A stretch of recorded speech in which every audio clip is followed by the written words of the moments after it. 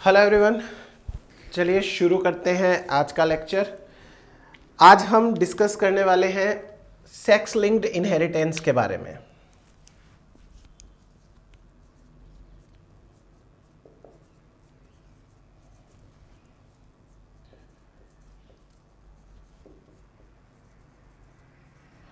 देखो यहाँ पर नाम से ही सारा का सारा समझ में आ जाता है कि ये टॉपिक क्या है. ऐसी इनहेरिटेंस जिसको कंट्रोल करने वाले जीन सेक्स क्रोमोजोम्स के ऊपर प्रेजेंट होते हैं, उसे हम कहते हैं सेक्स लिंक्ड इनहेरिटेंस एक बार थोड़ा सा तरीके से इस टॉपिक को समझ लेते हैं। जैसे कोई भी लिविंग ऑर्गेनिज्म है, और बेसिकली हम एक बार बात करते हैं सपोज़ ह्यूमन के लिए। ठीक है ह्यूमन का एग्ज़ाम्पल लेके बात कर लेते हैं। ह्यूमन है। अब इस लिविंग ऑर्गेनिज्म का जो जीनोम होता है, इस जीनोम के अंदर हमें यह पता है कि टोटल 46 डीएनए होते हैं। या आप ये कह सकते हो कि 23 पेयर्स होते हैं। ठीक है? तो इन टोटल 23 पेयर्स में से जो 22 पेयर्स हैं, वो 22 पेयर्स तो होते हैं ऑटोजोम्स और जो एक पेयर है, ये कहलाता है allosome now try to understand ये ऑटोजोम एलोजोम का कॉन्सेप्ट क्या है? देखो ऑटोजोम्स वो वाले क्रोमोजोम्स होते हैं जो मेल और फीमेल उस स्पीसीज की दोनों में सेम होते हैं। Autosomes are the chromosomes which are same in male and female of the species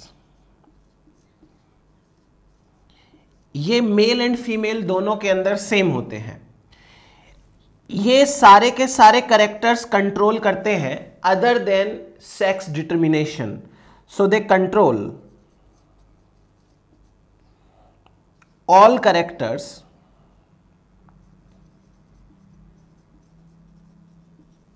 other than sex determination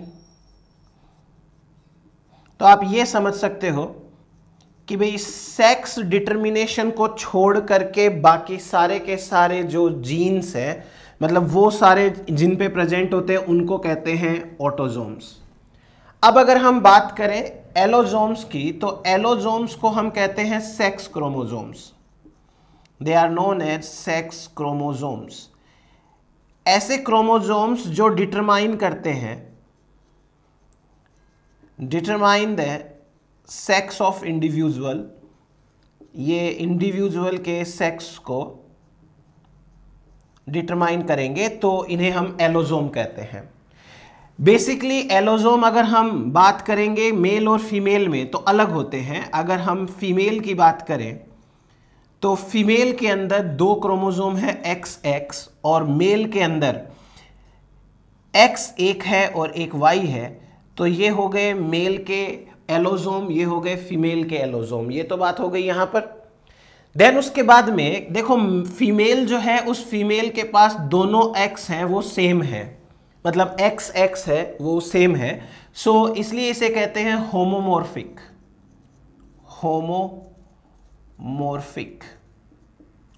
और जो फीमेल मेल है, उसके पास एक एक्स है, दूसरा वाई है। ये दोनों होमोलोगस भी नहीं है, एक दूसरे के डिफरेंट नेचर के डीएनए डिफरेंट नेचर के ये क्रोमोजोम्स हैं। सो एक्स और वाई को कहते हैं हेट्रोमोर्फिक हेट्रोमोर्फिक क्योंकि ये दो अलग अलग टाइप के मोर्फोलॉजी के हैं, इसलिए इसको हम हेट्रोमोर्फिक कहेंगे और फीमेल वाले हैं, उनको होमोमोर्फिक कहेंगे। तो ये एलोजोम्स होते हैं, वो सेक्स क्रोमोजोम्स होते हैं, जो डिटरमाइन करते हैं इंडिविजुअल के सेक्स को। दो टाइप के सेक्स हैं मेल एंड फीमेल फीमेल में एक्स एक्स होमोमोर्फिक मेल में एक्स वाई हेट्रोमोर्फिक नाउ अगर जीन सेक्स क्रोमोजोम पे एलोजोम्स को आप सेक्स क्रोमोजोम्स भी बोल सकते हो। सेक्स क्रोमोजोम्स अगर genes if genes are present on X chromosome better to say sex chromosome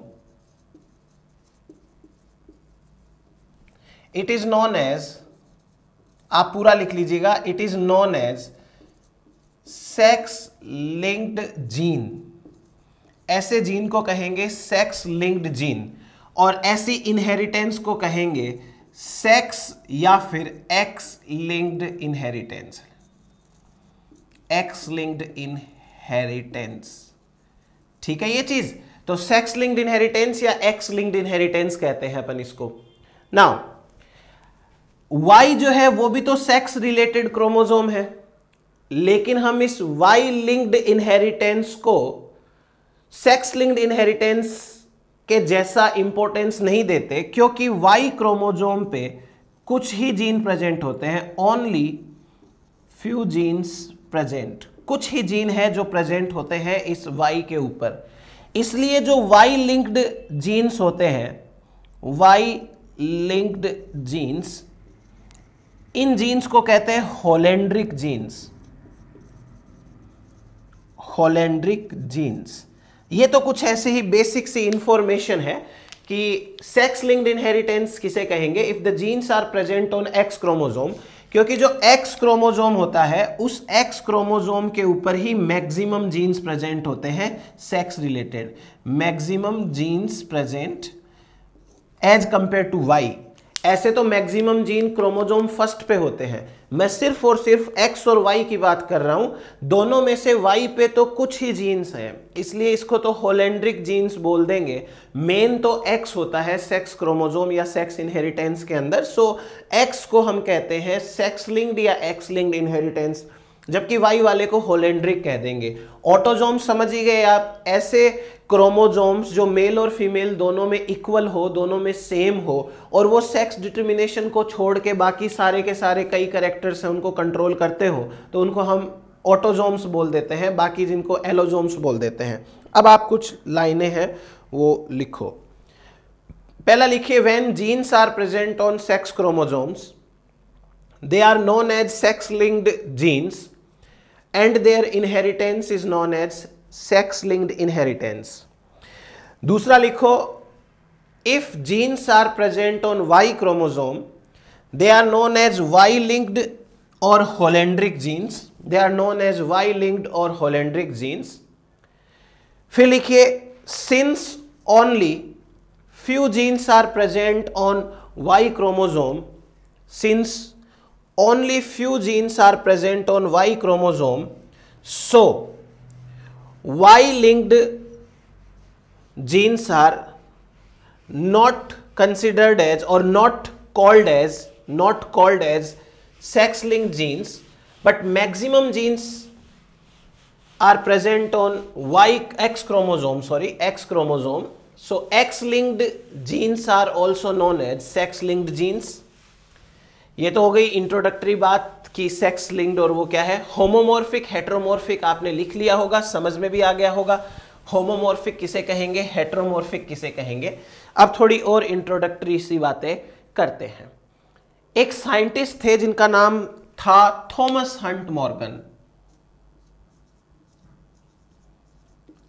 Thomas Hunt Morgan ये वही थॉमस हंट मॉर्गन है जिन्होंने जेनेटिक मैप बनाया था। और लिंकेज मैप जिसको हम बोलते हैं, इन्होंने क्या किया देखो? ये स्टडी कर रहे थे ड्रोसोफिला के ऊपर। सो स्टडिंग ड्रोसोफिला मेलानोगेस्टर ठीक है जी ड्रोसोफिला मेलानोगेस्टर के ऊपर स्टडी कर रहे थे। ड्रोसोफिला मेलानोगेस्टर के ऊपर ये स्टडी कर रहे थे आई कलर को। अब इस आई कलर के बारे में दो तीन बातें हैं जो हमको याद रखनी है। पहली बात, देखो, आई कलर है, उसको कंट्रोल करता है एक जीन जिसका नाम है आर जीन ठीक है आर जीन कंट्रोल करता है। ये जो आर जीन है, वो एक्स क्रोमोजोम पे प्रेजेंट होता है। It is present on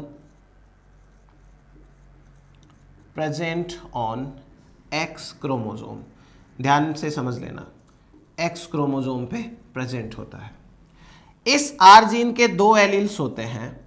एक होता है कैपिटल आर एलिल एक होता है स्मॉल आर एलिल तो कैपिटल आर एलिल और स्मॉल आर एलिल दो होते हैं। कैपिटल आर की वजह से रेड कलर आता है स्मॉल आर की वजह से वाइट कलर आता है। ठीक है? कैपिटल आर की वजह से स्मॉल रेड कलर और स्मॉल आर की वजह से वाइट कलर अगर हम इन दोनों एलील्स में रिलेशन की बात करें तो capital R is dominant over small R यानी जहाँ कैपिटल आर आएगा, वहाँ पर रेड कलर आएगा. Now next part of the inheritance ये एक्स क्रोमोजोम पे है. अब जो ड्रोसोफिला है, वो ड्रोसोफिला एक्स क्रोमोजोम को लेकर फीमेल और मेल दोनों अलग अलग टाइप के होते हैं। क्योंकि एक्स क्रोमोजोम्स का डिस्ट्रीब्यूशन इक्वल नहीं है ऑटोजोम्स की तरह। फीमेल के अंदर दो एक्स क्रोमोजोम्स होते हैं। तो हो सकता है फीमेल के पहले एक्स पे भी कैपिटल आर जीन हो, दूसरे एक्स पे भी कैपिटल आर जीन हो। फीमेल के अंदर दो एक्स क्रोमोजोम होते हैं, हो सकता है एक एक्स के ऊपर कैपिटल आर हो, एक एक्स पे स्मॉल आर हो। फीमेल के पास में दो एक्स है, इसलिए हो सकता है दोनों एक्स पे स्मॉल आर स्मॉल आर हो।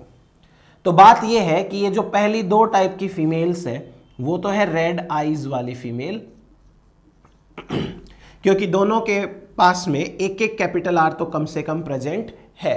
तो ये तो हो गया रेड आईज और ये देखो स्मॉल आर स्मॉल आर है, इसलिए ये होगी वाइट आईज वाली फीमेल वाइट आई क्लियर हुआ ये बात आपको? एक्स क्रोमोजोम पे है तो हमको इसका डिस्ट्रीब्यूशन ऐसे ही लेना पड़ेगा। अगर ये जीन ऑटोजोम पे होता तो हम ये मेल फीमेल अलग से कंसिडर ही नहीं करते। हम सीधा लिख देते या तो individual capital R capital R है, या individual capital R small R है, या individual small R small R है। तो हम इतना डिफ्रेंशिएट नहीं करते इस चीज़ को बट क्योंकि ये एक्स का मामला है, इसलिए फीमेल और मेल दोनों को अलग अलग तरीके से रिप्रेजेंट करना पड़ेगा। क्योंकि मेल के पास में एक ही एक्स है तो उस एक्स पे या तो कैपिटल आर हो सकता है, या स्मॉल आर हो सकता है। तो मेल रेड होगा तो वो किस कंडीशन में होगा? रेड आई वाला होगा तो किस कंडीशन में होगा? और वाइट आई वाला होगा तो किस कंडीशन के अंदर होगा? वो आपके सामने है। तो Thomas Hunt Morgan while studying the eye colour in Drosophila melanogaster discovered the sex linked inheritance the eye colour in the Drosophila melanogaster is controlled by R gene which is present on X chromosome. The R gene is made up of two types of alleles. One is capital R allele another is small r allele. The capital R allele controls the red color and the white uh, small r allele controls the white color while the capital R is dominant over small r. On the basis of these two alleles, the male and females are of different kinds, such as the females are capital R capital R XX or capital R small r XX or small r small r XX, while the male is capital R XY or small r XY. ये तो हो गया pattern अब हमें कराने हैं दो simple simple monohybrid cross देखो थॉमस हंट मॉर्गन ने 1910 से लेके 1930 तक काफ़ी अच्छा काम किया था। और 1910 में ही इन्होंने शायद डिस्कवर कर लिया था ये सेक्स लिंक्ड इनहेरिटेंस को। तो थॉमस हंट मॉर्गन ने मेंडल का काम पढ़ रखा था। और मेंडल का काम हमारा क्या बताता है? सिंपल सा देखो, अगर हम मेंडेलियन मोनोहाइब्रिड क्रॉस की बात करें तो मेंडल का मोनोहाइब्रिड क्रॉस क्या कहता है कि पेरेंट वन है, पेरेंट टू है? ये पेरेंट वन टॉल है और ये पेरेंट टू है, वो ड्वाफ है। टॉल जो है, वो डोमिनेंट करेक्टर है और ट्रेट है और ये जो ड्वाफ है, वो रिसेसिव ट्रेट है। जब दोनों से F1 बनेगी तो F1 में ऑल टॉल आएँगे मतलब कि F1 में ऑल डोमिनेंट आएँगे। अगर हम F1 की सेल्फिंग कराएँगे तो F2 के अंदर टॉल एंड ड्वाफ इसका मतलब ये हो गया कि डोमिनेंट एंड रिसेसिव का जो रेशियो आएगा, वो थ्री इज़ टू वन आएगा। ये है मेंडल की बात।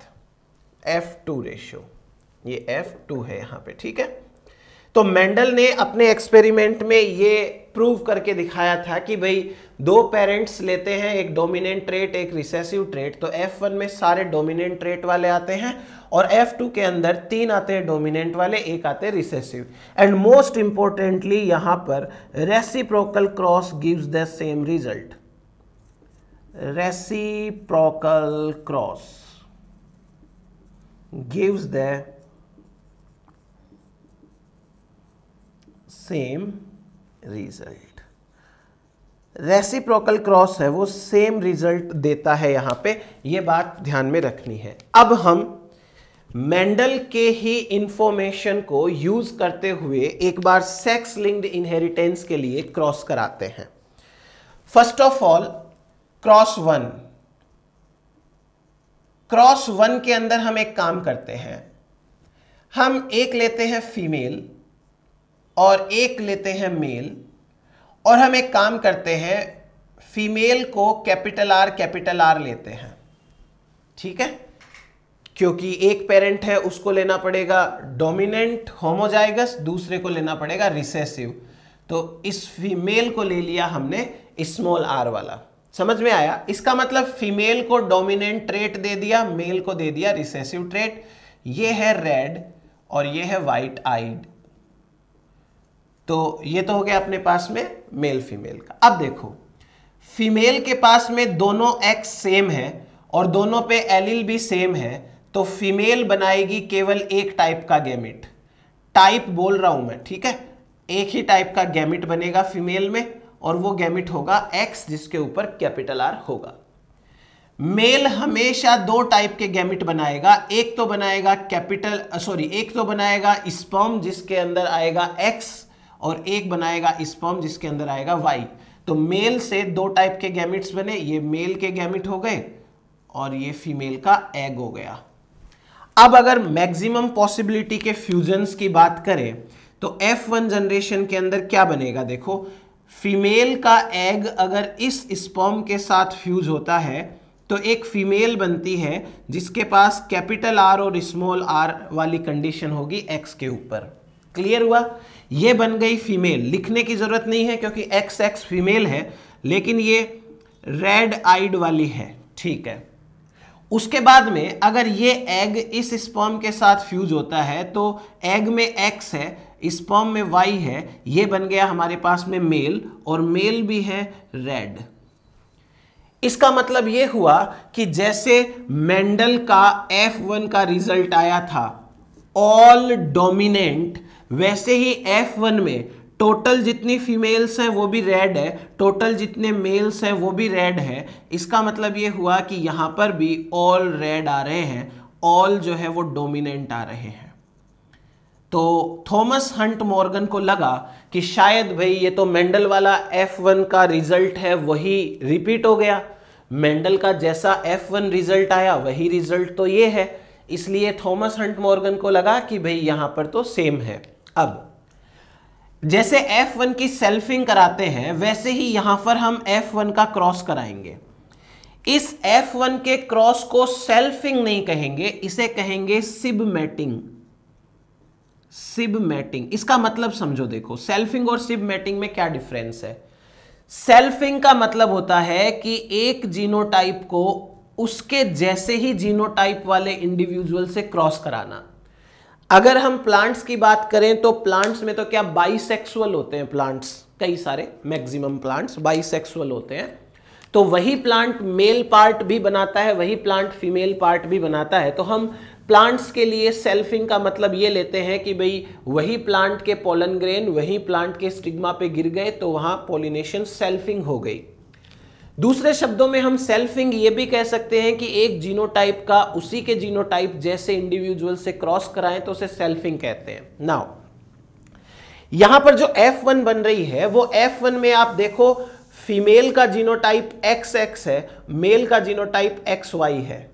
तो यहाँ पर सेम जीनोटाइप तो नहीं है, लेकिन ये मेल सॉरी ये फीमेल और ये मेल दोनों के दोनों सेम पेरेंट के प्रोजेनी है। तो ये दोनों तो ब्रदर सिस्टर हो गए आपस में। ब्रदर सिस्टर मतलब सिबलिंग हो गए आपस में। तो ब्रदर सिस्टर्स के बीच की जो मैटिंग है, उसको नाम दे दिया सिब मैटिंग यानी सिबलिंग के बीच में मैटिंग ठीक है? तो अपन अब सिबलिंग के बीच की मैटिंग को देखते हैं। इस बार ये जो फीमेल है, इसके पास में दो टाइप के एक्स हैं। एक एक्स है आर कैपिटल वाला, एक एक्स है स्मॉल वाला। तो हम फीमेल के दोनों एक्स को सेपरेट कर लेंगे।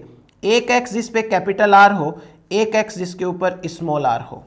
तो दो टाइप के गैमिट बन गए ये। मेल तो हमेशा ही दो टाइप के गैमिट बनाएगा। एक स्पर्म जिसमें एक्स जाता हो, एक स्पर्म जिसमें वाई जाता हो। अब आप इन दोनों का मतलब मैक्सिमम पॉसिबिलिटी के साथ में अगर फ्यूजन कराओगे, ये दो हेलो एवरीवन सो यहाँ पर जो सिब मैटिंग हो रही है, उस सिब मैटिंग का मतलब क्या हुआ कि ये सिबलिंग्स हैं, उनके बीच मैटिंग हो रही है। तो मैक्सिमम पॉसिबिलिटीज के साथ फ्यूजन कराते हैं। ये तो हो गए एग्स और वो है स्पर्म्स तो पहले ये फ़र्स्ट एग फ़र्स्ट स्पर्म के साथ में फ्यूज होगा तो ये बनेगा X X capital R capital R ये इस स्पर्म के साथ फ्यूज होगा तो बनेगा एक्स वाई और इसके ऊपर कैपिटल आर अगर ये सेकेंड एग फ़र्स्ट स्पर्म के साथ फ्यूज हो जाए या फ़र्स्ट टाइप के स्पर्म के साथ फ्यूज हो जाए तो बनेगा कैपिटल आर स्मॉल आर और ये सेकेंड टाइप के स्पर्म के साथ फ्यूज हो जाए तो बनेगा स्मॉल आर एक्स वाई ये चार आ गए रिज़ल्ट अब देखो, ये जो F2 जनरेशन है, इस F2 जनरेशन को आप दो तरीके से बोल सकते हो इसके रिजल्ट्स को. ये F2 जनरेशन है, पहली बात. अगर आप यहाँ पर केवल फीमेल्स की बात करो तो ये इधर की दो फीमेल्स हैं और ये दो जो है वो मेल्स हैं। अगर आप खाली फीमेल फीमेल की बात करो तो आपको दो फीमेल मिलती है, दोनों में कैपिटल आर प्रेजेंट है तो दोनों की दोनों रेड है। आप ये कह सकते हो hundred percent females red eyed red eyed अगर आप मेल्स की बात करते हो तो आपको देखो दो मेल्स मिल रहे हैं। एक मेल है कैपिटल आर एक मेल है स्मॉल आर तो आप ये कह सकते हो कि 50 परसेंट मेल्स है, दे आर रेड आइड और जो 50 परसेंट मेल्स है, दे आर वाइट आइड ये 50 परसेंट मेल्स है रेड आइड और 50 परसेंट मेल्स है वो वाइट आइड होते हैं। तो चलो, ये तो हो गया अपने पास में। अब इसी रिज़ल्ट को हम दूसरे तरीके से कंसिडर करते हैं। देखो, ये चार प्रोजेनी हैं, आप इनको मेल फीमेल के बेसिस पे डिफ्रेंशिएट ना करो। ये मत कहो कि मेल कितने रेड आइड है या फीमेल कितनी रेड आइड है। आप सिंपली टोटल चार प्रोजेनीज में से रेड कितने हैं तो आपको ये एक फीमेल रेड दिख रही है, ये एक मेल रेड दिख रहा है, और ये फीमेल भी रेड दिख रही है। आप ये कह सकते हो कि रेड प्रोजेनीज है, वो तीन है। और वाइट प्रोजेनी ये है तो वाइट प्रोजेनी कितने हैं? वाइट प्रोजेनी है, वो एक है। इसका मतलब ये हुआ कि ये जो क्रॉस हमने कराया, इस क्रॉस के अंदर F1 में भी मेंडल के अकॉर्डिंग रेशियो आया था, ऑल डोमिनेंट वाला। और F2 के अंदर भी मेंडेलियन रेशियो आ रहा है, थ्री इज़ टू वन, यानी तीन डोमिनेंट, एक रिसेसिव। तो अब थॉमस हंट मॉर्गन को यह लगा कि ये वाला जो करेक्टर है, वो तो मेंडल का ही रेशियो फॉलो कर रहा है। हो सकता है ये जीन कहाँ प्रेजेंट हो? ये जीन प्रेजेंट हो ऑटोजोम्स के ऊपर। तो मेंडल इसने सॉरी हंट मॉर्गन ने क्या किया? एक रेसिप्रोकल क्रॉस कराया।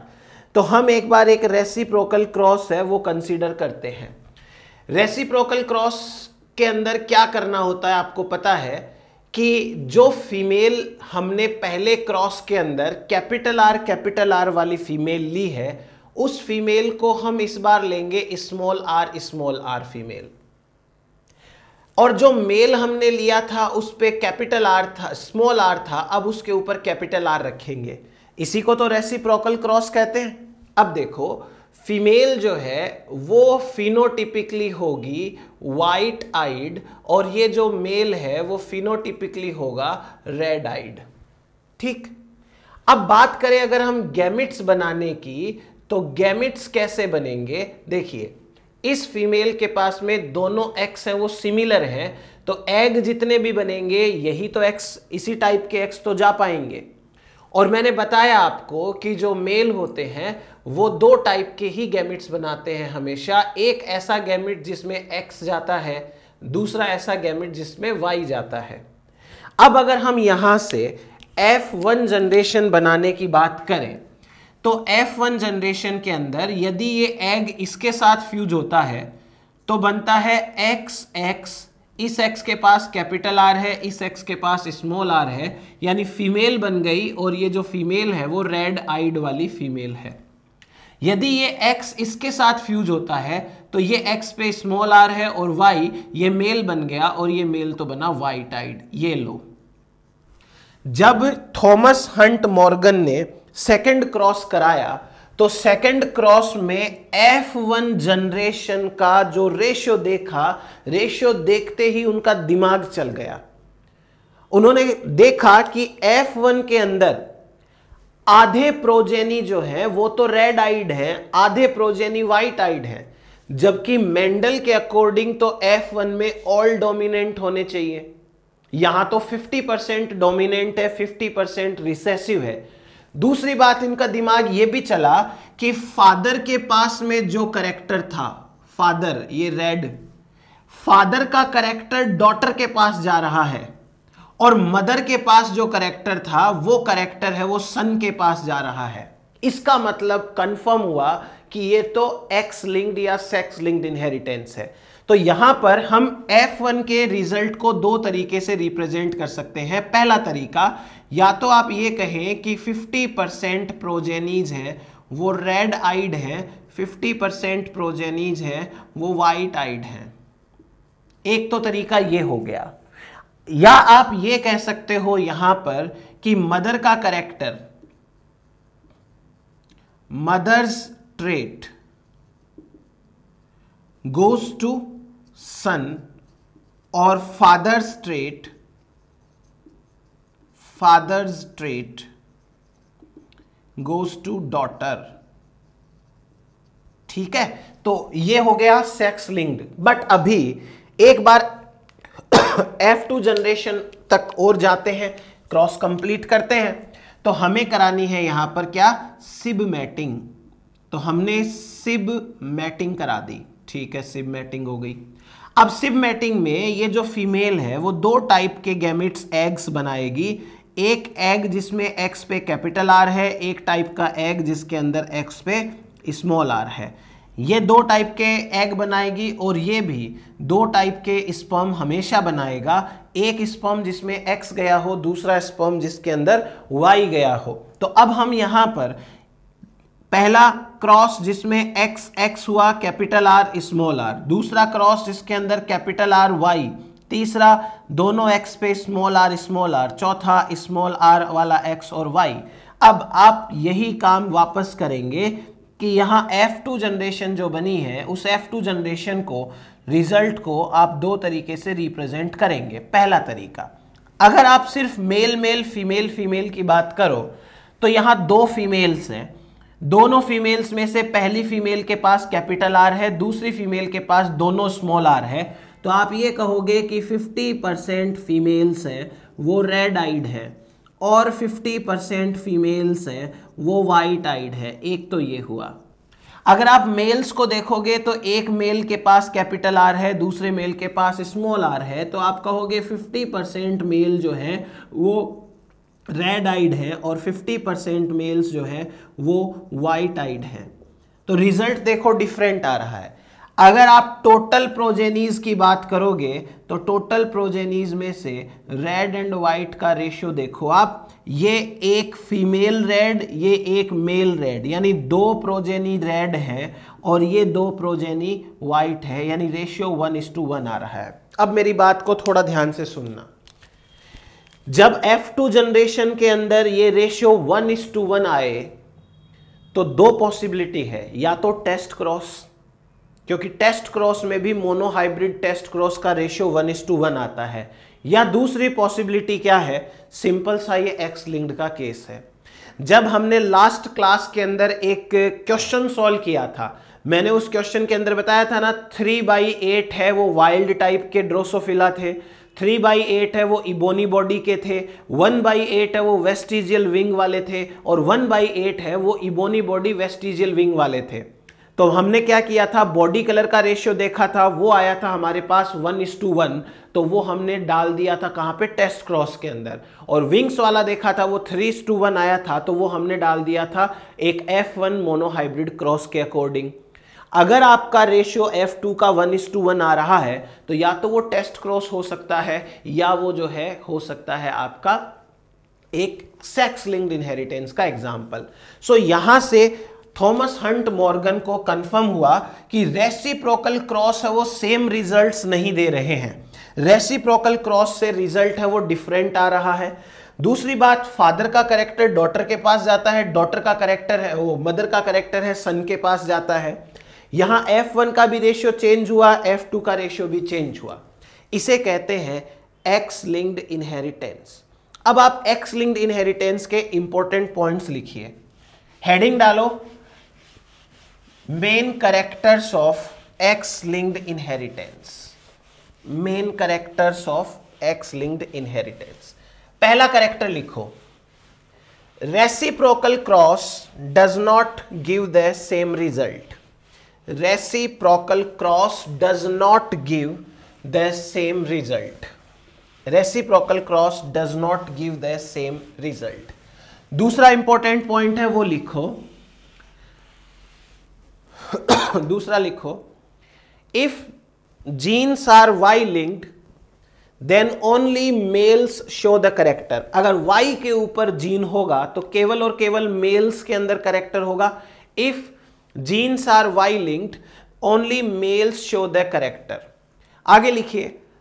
Father's character goes to daughter and mother's character goes to son and daughter both क्योंकि फीमेल के पास एक्स होता है, दोनों ही तो फीमेल का एक्स डॉटर में भी जाता है और उस सन में भी जाता है तो mother's character goes to son and daughter both अब, देखो, एक है मदर और एक है फादर इन दोनों से जो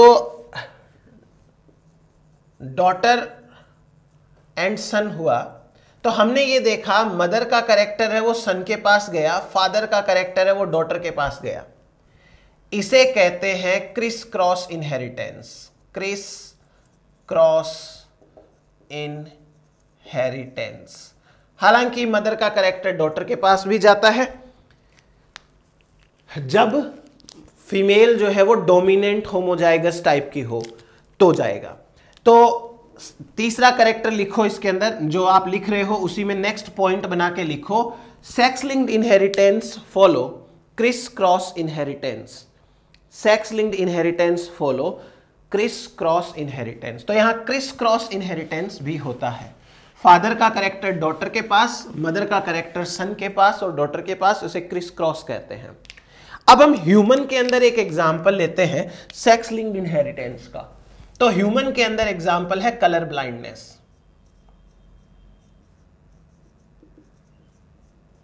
colour blindness in human और better to say red green colour blindness red green colour blindness ये जो रेड ग्रीन कलर ब्लाइंडनेस है, एक तो ये एक्स लिंक्ड है, यानी जीन है वो एक्स पे है। और दूसरा ये रिसेसिव है तो ये एक्स लिंक्ड रिसेसिव का एग्ज़ाम्पल है। एक्स लिंक्ड रिसेसिव का मतलब क्या हुआ कि फीमेल के पास में अगर capital C small C condition है एक्स पे तो फीमेल जो है वो नॉर्मल होगी लेकिन फीमेल के पास दोनों ही स्मॉल सी स्मॉल सी है एक्स पे, तब उसको कलर ब्लाइंडनेस होगी। जबकि मेल के पास में एक ही एक्स होता है तो मेल या तो कैपिटल सी एक्स वाला होगा या स्मॉल सी एक्स वाला होगा तो मेल या तो जो है वो कलर ब्लाइंड होगा या नॉर्मल होगा। अब मेरे इस बात को आराम से सुनिएगा और लिखिएगा। सबसे पहला पॉइंट लिखिए humans humans sense the color by cone cells. Humans sense the color by cone cells present in their retina. हमारी आँखों के अंदर रेटिना के अंदर जो कौन सेल्स होती है, उन कौन सेल्स से ह्यूमन बीइंग जो है, वो कलर को सेंस करता है दूसरा पॉइंट लिखिए कौन cells are of three types ये तीन टाइप्स की होती है। पहली होती है ब्लू कलर की, यानी इनमें ब्लू पिगमेंट होता है ब्लू कौन सेल्स दूसरी होती है रेड कौन सेंस और तीसरी होती है green cone sense green cone cells green cone cells तो हमारे आँखों के अंदर तीन टाइप के जो है वो कौन सेल्स पाए जाते हैं। ब्लू कलर वाली कौन सेल्स जो होंगी, इसे कौन के शेप की होती है और इनके अंदर ब्लू पिगमेंट भरा हुआ रहता है। तो इनको हमने कह दिया ब्लू कौन सेल्स। ये ब्लू पिगमेंट भरा हुआ है, ब्लू कौन सेल्स। दूसरी होती है रेड कौन सेल्स। इनके अंदर रेड कलर रेड पिगमेंट है, वो भरा हुआ रहता है तो इनको हमने कह दिया रेड कौन सेल्स ये रेड कौन सेल्स हो गई। तीसरे टाइप की जो है, वो है ग्रीन कौन सेल्स तो जो ग्रीन कौन सेल्स होती है, उनके अंदर ग्रीन पिगमेंट भरा रहता है तो इनको ग्रीन कौन सेल्स ऐसे बोल देंगे अपन। ये हो गया हमारे पास में तीन टाइप के कौन सेल्स नाउ अब हम काम की बात पे आते हैं इनके कंट्रोलिंग जीन्स के ऊपर। जो ब्लू कौन सेल्स है? इनके अंदर जो ब्लू पिगमेंट है, उस ब्लू पिगमेंट का जीन जो होता है, वो प्रेजेंट होता है सेवंथ क्रोमोजोम पे। सेवंथ क्रोमोजोम और आपको ये पता है कि ये जो सेवंथ वाला क्रोमोजोम है, ये सेवंथ क्रोमोजोम ऑटोजोम है। तो ब्लू कलर का जो पिगमेंट है, वो तो सेवंथ क्रोमोजोम पे है। जबकि रेड पिगमेंट बनाने वाला gene red pigment gene and green pigment gene green pigment gene ये दोनों एक्स क्रोमोजोम पे प्रेजेंट होते हैं। एक्स क्रोमोजोम पे प्रेजेंट होते हैं। तो रेड ग्रीन कलर ब्लाइंडनेस जो होती है, वो एक्स लिंक्ड है। ब्लू कलर ब्लाइंडनेस है, वो एक्स लिंक्ड नहीं है। आगे लिखिए एक line human eyes can see only three colours red green and blue but our brain but our brain mix up the signals and we can see more colours हम बहुत सारे कलर्स देख सकते हैं। नाउ हम बात कर रहे हैं कलर ब्लाइंडनेस की इन केस ऑफ़ ह्यूमन तो ये लो कलर ब्लाइंडनेस। देखो जो कलर ब्लाइंडनेस है it is controlled by C gene C gene के दो एलिल्स होते हैं कैपिटल सी एलिल और स्मॉल सी एलिल जो कैपिटल सी एलिल है it is responsible for normal vision ये नॉर्मल विजन के लिए रेस्पॉन्सिबल है. और जो स्मॉल सी है it is responsible for colour blindness लेकिन बात यह है कि जो कैपिटल सी है it is dominant over small C capital C है, वो डोमिनेंट है स्मॉल सी के ऊपर। तो अब हम एक काम करते हैं, एक फीमेल और मेल का हम जीनोटाइप देख लेते हैं और क्या क्या कंडीशंस होगी। जैसे देखो फीमेल है एक्स एक्स हो सकता है दोनों एक्स पे कैपिटल सी कैपिटल सी हो। इसका विजन है बिल्कुल नॉर्मल फिर दूसरी female capital C small C है। इसका विजन है नॉर्मल, क्योंकि इसके पास कैपिटल सी है। बट ये फीमेल एक म्यूटेंट एलिल को कैरी कर रही है तो इस फीमेल को कैरियर भी बोलते हैं अपन। बाकी बातें बाद में करेंगे, जब पेडिग्री पढ़ेंगे। अभी के लिए बस इतना समझो। अगर फीमेल के पास दोनों स्मॉल सी स्मॉल सी है तो ये बन गई कलर ब्लाइंडनेस इसमें कलर ब्लाइंडनेस होगी। मेल दो टाइप का होगा, या तो कैपिटल सी वाला एक्स होगा इसमें, या स्मॉल सी वाला एक्स होगा। तो कैपिटल सी वाला है तो नॉर्मल इसको सब कुछ सही दिखेगा, और अगर स्मॉल सी वाला है तो ये रेड एंड ग्रीन में कलर में डिफरेंस नहीं कर पाएगा तो ये कलर ब्लाइंड दिखेगा। तो ये हो गया हमारे पास में फीमेल के जीनोटाइप के क्या फिनोटाइप हैं मेल के जीनोटाइप के क्या फीमेल फिनोटाइप अब आप थोड़ी सी मेहनत खुद कर लेना और मैं कुछ क्रॉस दे रहा हूँ, वो क्रॉस अपनी नोटबुक के अंदर सही से कराना। एक फीमेल ऐसी है जिसका capital C capital C genotype है तो उसका क्रॉस होता है कैपिटल सी एक्स वाई ऐसे मेल के साथ में। इसका क्या आप देखना रिज़ल्ट निकलता है। कोई डिफिकल्टी आए तो मुझे पूछना। दूसरी फीमेल है, उसके पास कैपिटल सी कैपिटल सी है, लेकिन मेल के पास स्मॉल सी वाई है। तीसरी फिर फीमेल है, जिसके पास में capital C, small C condition है। इसका cross capital C, Y female के साथ, मेल के साथ होता है। चौथी फीमेल है कैपिटल सी, स्मॉल सी वाली। इसका जो है वो स्मॉल सी, वाई के साथ होता है। पांचवी फीमेल है, जिसके पास में small C small C condition है। क्रॉस होता है capital C Y female male के साथ में, और छठी है स्मॉल सी स्मॉल सी और इसका क्रॉस होता है स्मॉल सी वाई मेल के साथ में। तो ये कुछ छह टाइप के देखो आपके सामने कंडीशंस दे रखी है। आप क्रॉस कराओ, पता चलेगा आपको कि कैसे कैसे रिजल्ट्स आ सकते हैं। कुछ डिफ़िकल्टी आए तो मुझसे पूछ लेना। वैसे आएगी नहीं इंटेलिजेंट आप लोग हो ही सारे के सारे। और आप थोड़ा सा ना, जो और आपके फ्रेंड्स वगैरह हैं, उनके साथ में चैनल को जो है वो शेयर कर दीजिए। मुझे ये बात समझ में नहीं आती है कि कोई पढ़ना क्यों नहीं चाहता है। अगर सही कंटेंट मिल रहा है तो पढ़ नहीं रहे हैं और जहाँ पे टाइम पास हो रहा है, वहाँ पे भीड़ लगी हुई है। पता नहीं क्या है।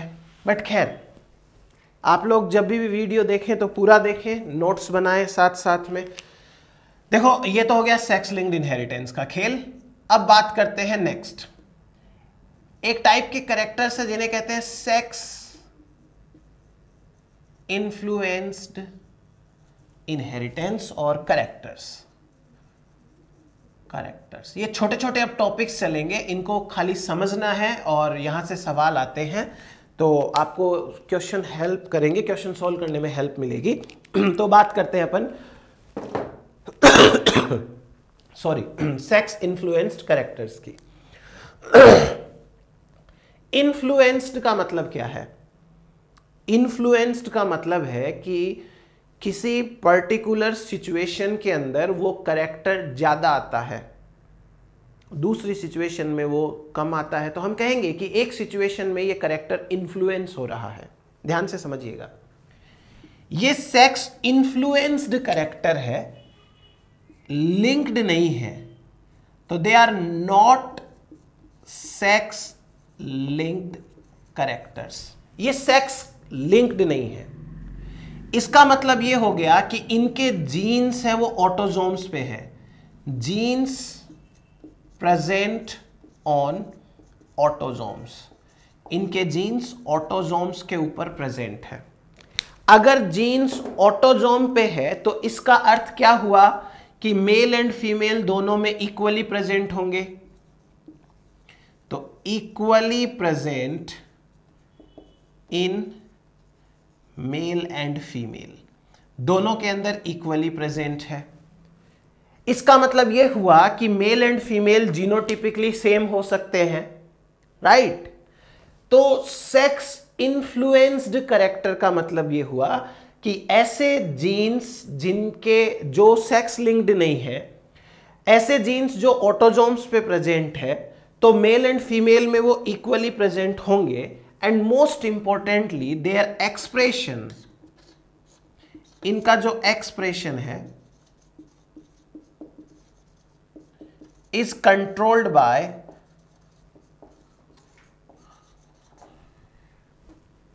a sex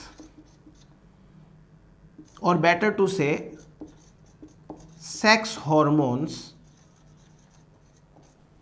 of individual.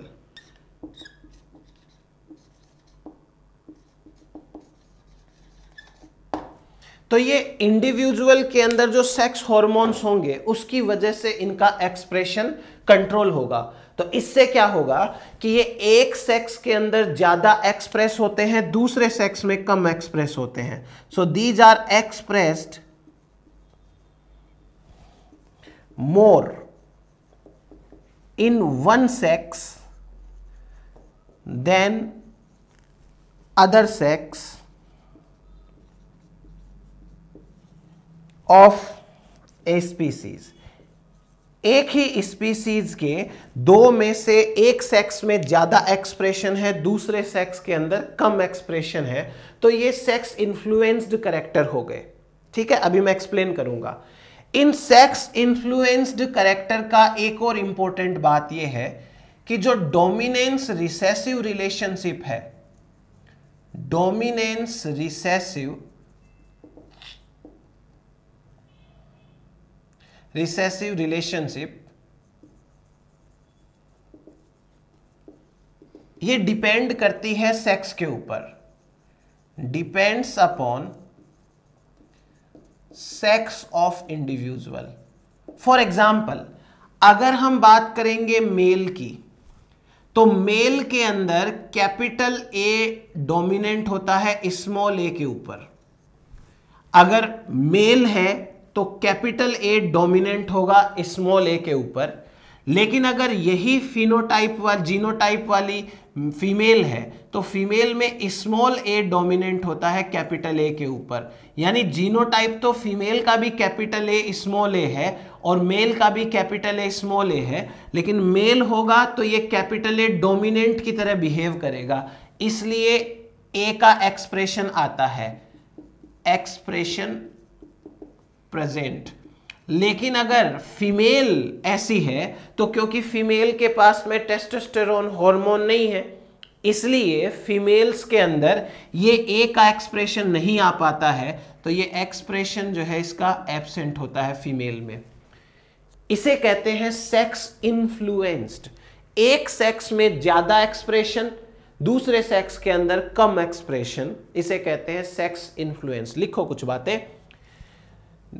Those characters which are controlled by genes present on autosomes but they express more in one sex than other sex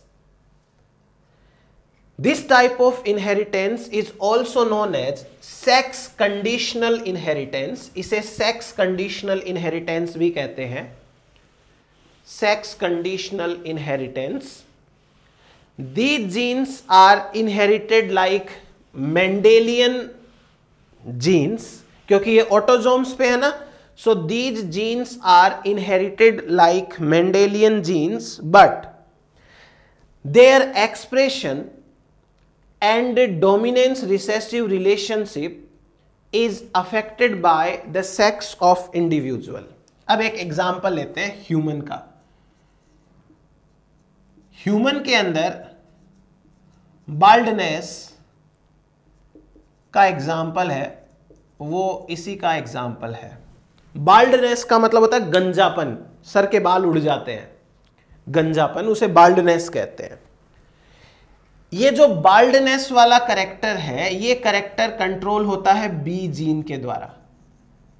B gene B gene कहाँ प्रेजेंट है? प्रेजेंट ऑन ऑटोजोम तो ये autosome पे present है।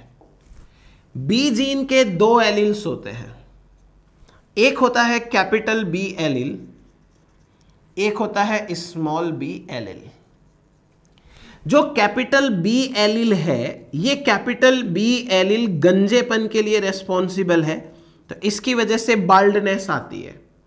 लेकिन ये जो small B allele है, ये small B allele normal hair के लिए रेस्पॉन्सिबल है। नॉर्मल हेयर्स के लिए। मतलब इससे एक बाल्डनेस नहीं आती। बट हमको यहाँ पर एक चीज़ का ध्यान रखना है खास। जैसे, अगर genotype capital B capital B है तो चाहे ये मेल हो, चाहे ये फीमेल हो दोनों ही बाल्ड होंगे। क्योंकि दोनों ही कैपिटल बी है, तब तो फीमेल भी बाल्ड ही होगी। अगर दोनों स्मॉल बी स्मॉल बी है तो मेल है वो भी नॉर्मल होगा फीमेल है वो भी नॉर्मल होगी। बस हमको ध्यान रखना है हेट्रोजाइगस कंडीशन में। जब एक जीन के दोनों एलिल्स एक साथ आएँगे तो मैंने वहाँ बताया आपको कि मेल के अंदर कैपिटल बी है, वो डोमिनेंट की तरह बिहेव करेगा तो ऐसा मेल बाल्ड हो जाएगा। लेकिन जो फीमेल है, उसमें स्मॉल बी डोमिनेंट की तरह बिहेव करेगा। या यूँ कहें कि यहाँ कैपिटल बी है, वो डोमिनेंट की तरह बिहेव नहीं करेगा तो ऐसी फीमेल है, वो नॉर्मल फीमेल होगी। आई बात समझ में? बस यही चीज़ इंपॉर्टेंट है इस सेक्स इन्फ्लुएंस्ड करेक्टर के अंदर। कि कैपिटल बी जो है, वो मेल में तो डोमिनेंट की तरह बिहेव करता है। इसलिए मेल के अंदर तो ज़्यादा एक्सप्रेशन होगा बी का। और यही कैपिटल बी फीमेल के अंदर कम बिहेव करता है डोमिनेंट की तरह बिहेव नहीं करता। तो हम एक क्रॉस कराते हैं। एक फीमेल है और एक मेल है। दोनों के दोनों capital B small B male भी ऐसा फीमेल भी ऐसी। फिनोटिपिकली बात करें तो मेल में कैपिटल बी डोमिनेंट होता है तो मेल तो हो गया ये बाल्ड और जो फीमेल है, उसमें कैपिटल बी डोमिनेंट की तरह बिहेव नहीं करता तो फीमेल हो गई नॉर्मल अब यहाँ से चार possibility capital B capital B capital B small B capital B small B small B small B चार पॉसिबिलिटी देखो जीनोटाइप तो मेंडल के अकॉर्डिंग बनेंगे क्योंकि जीन एक्स सॉरी ऑटोजोम के ऊपर है. तो जीनोटाइप की तो टेंशन लेनी नहीं. अब ये जो चार प्रोजेनी बने हैं इनमें बालों का पैटर्न कैसा होगा, ये इनके सेक्स पे डिपेंड करेगा। क्योंकि ये ऑटोजोम है तो ये मेल भी हो सकता है फीमेल भी हो सकती है। ये भी मेल या फीमेल हो सकता है, ये भी मेल या फीमेल ये भी मेल या फेल तो हम एक काम करते हैं। मान लो कि ऑल आर मेल्स सारे के सारे मेल हैं, सब मेल है। ये भी मेल ये भी मेल ये भी मेल ये भी मेल अगर सारे के सारे मेल हैं तो आप देखो बाल्ड इज़ टू नॉर्मल का रेशियो क्या आ रहा है? अगर ये सारे मेल हैं तो बाल्ड बाल्ड बाल्ड और एक होगा नॉर्मल अब मान लीजिए कि ये सारी फीमेल्स हैं ऑल फीमेल्स अगर ये सारी की सारी फीमेल्स हैं तो देखो कैपिटल बी कैपिटल बी अगर होगा तो चाहे मेल हो या फीमेल हो बाल्ड होगी. तो ये तो हो गई बाल्ड लेकिन कैपिटल बी फीमेल के अंदर डोमिनेंट नहीं है इसलिए ये भी नॉर्मल ये भी नॉर्मल और ये तो हमेशा ही नॉर्मल होता है। रेशियो चेंज हो गया। मेल के अंदर ज़्यादा बाल्ड है फीमेल के अंदर कम बाल्ड है, इसे कहते हैं इन्फ्लुएंस्ड करेक्टर एक सेक्स के अंदर ज़्यादा एक्सप्रेशन दूसरे सेक्स के अंदर जो है वो कम एक्सप्रेशन इसी को एक और एग्ज़ाम्पल के साथ में समझते हैं। गॉट या शीप के अंदर भेड़ या बकरी जो होती है, उनके अंदर दाढ़ी होती है। ठीक है? बियर्ड इन गॉट और शीप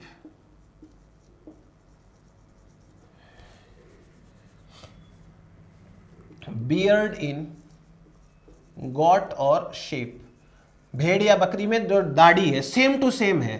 बी जीन कंट्रोल करेगा, दो एलिल होंगे कैपिटल बी स्मॉल बी इस कैपिटल बी की वजह से दाढ़ी आती है तो ये तो होगा बियर्ड और ये होगा बियर्ड लेस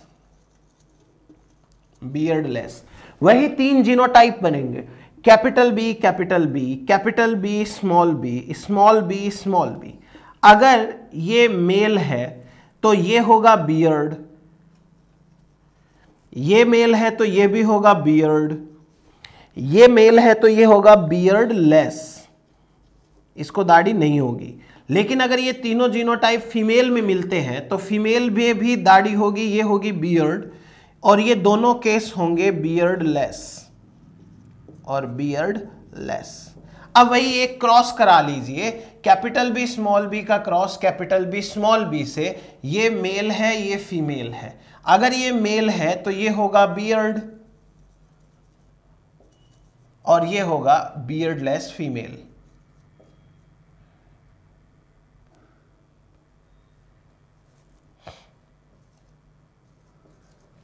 beardless female.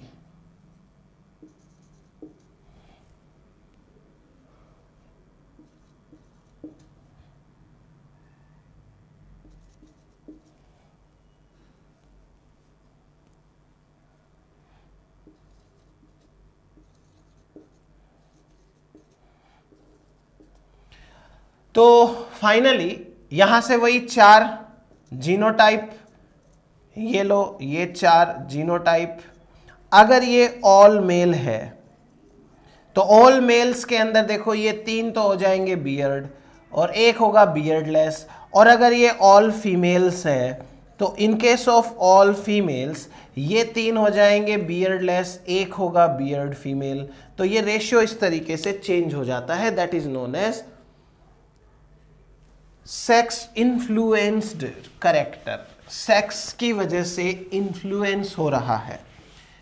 अगर हम थोड़ा सा ज़्यादा स्ट्रॉन्ग टाइप का हम इसका फॉर्म देखें सेक्स इन्फ्लुएंस का तो एक होता है sex limited characters sex limited characters sex limited characters क्या होते हैं? ऐसे करेक्टर्स जो एक ही सेक्स में लिमिटेड है मतलब उसी में है, दूसरे में नहीं है, इसे कहते हैं सेक्स लिमिटेड करेक्टर लिखिए it is the more intense form of sex influenced character again genes are present on genes are present on autosomes so, they are also inherited like mendelian inheritance, but they express in one sex only they express in one sex only and expression is absent expression is absent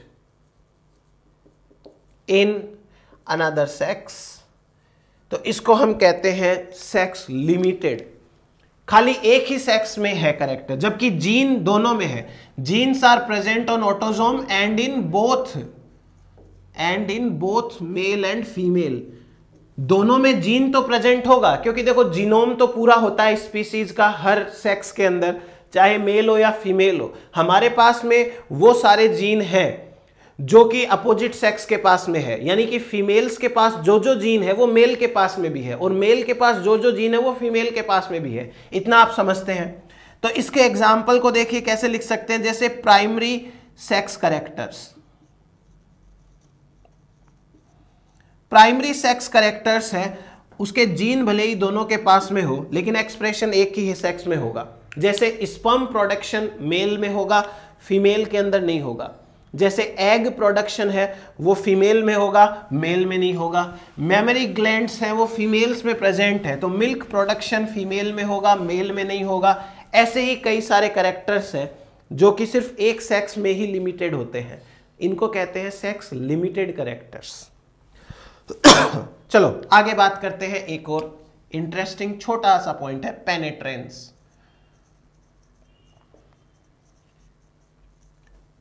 penetrance देखो penetrance का मतलब क्या है? Simple शब्दों में बात करें तो पेनेट्रेंस का मतलब होता है घुसना, अंदर घुसना एंटर करना पेनेट्रेट करना, घुस जाना। यहाँ जेनेटिक्स के लैंग्वेज में पेनेट्रेंस का मतलब क्या है? एक एग्ज़ाम्पल के साथ में समझेंगे तो आपको ज़्यादा अच्छे से समझ में आएगा। फॉर एग्ज़ाम्पल आपके पास में हंड्रेड सीड्स है। Hundred seeds. और ये हंड्रेड सीड का जो जीनोटाइप है, वो है all capital T capital T सारे कैपिटल टी कैपिटल टी के सीड है। ठीक? आप जानबूझ के लाए रिसर्च इंस्टीट्यूट से capital T capital T seeds लेके आए। ठीक? अगर आपके सारे सीड्स हैं, उनका genotype capital T capital T है तो आप क्या एक्सपेक्ट कर रहे हो? कि इनका फिनोटाइप क्या होगा? ओबियस सी बात है कि अगर कैपिटल टी है तो हम एक्सपेक्ट क्या कर रहे हैं? टॉल फिनोटाइप सब में। ठीक। अब हमने क्या कराया? इनको फ़ील्ड में उगाया। ये अपना खेत है। और इस खेत के अंदर हमने ये हंड्रेड सीड्स है वो इस तरीके से फ़ील्ड के अंदर उगा दिए। ये हंड्रेड सीड्स हैं, वो सारे के सारे फ़ील्ड में लगा दिए। नाउ एक छोटा सा कंडीशन कंसिडर करिए। मान लीजिए कि इस फ़ील्ड में ये जो कॉर्नर है, इस कॉर्नर में लेस वाटर सप्लाई हुई। लेस वाटर सप्लाई और जब आपने यहाँ पर न्यूट्रिएंट डाले तो लेस न्यूट्रिएंट्स ढंग से आपने डाले नहीं। बाकी पूरे खेत के अंदर अच्छे से पानी की सप्लाई हो गई, अच्छे से जो है ये न्यूट्रिएंट भी डल गए। तो अब क्या होगा कि यहाँ खेत में 95 प्लांट्स हैं, जिनको प्रॉपर पानी मिला प्रॉपर न्यूट्रिएंट मिले, वो तो बन गए टॉल जबकि इनका genotype capital T capital T है। और ये पाँच प्लांट अब ये ऐसे मत सोचना कि सौ में से पाँच ही क्यों लिए? ऐसे ही ले लिए मैंने। ये जो पाँच प्लांट्स हैं, इनको पानी प्रॉपर नहीं मिला, इनको न्यूट्रिएंट प्रॉपर नहीं मिला तो ये ड्वाफ रह गए बेचारे।